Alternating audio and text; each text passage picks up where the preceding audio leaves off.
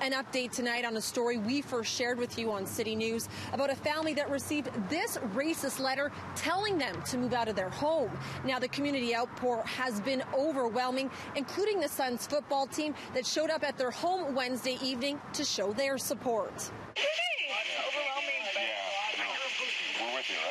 This is the football team one of the boys in the family who received the letter plays on.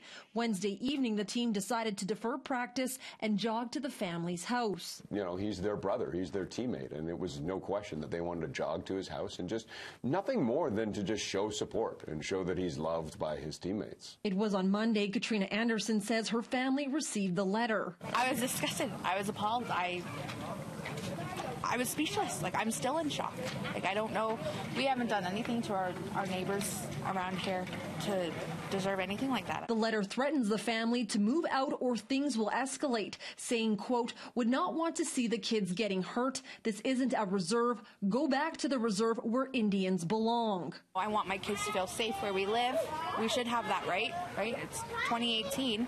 I didn't think that racism was this bad.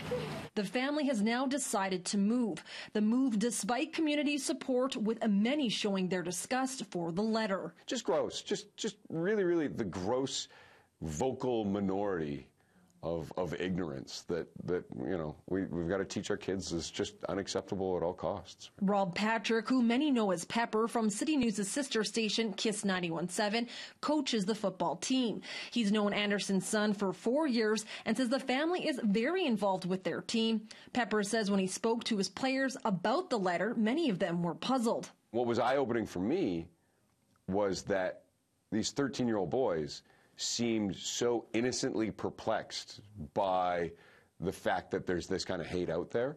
So, you know, well, the world has a long way to go, but to see 13 year olds confused that there is this kind of ignorance is kind of a good sign that, you know, maybe it's starting to lose its effect.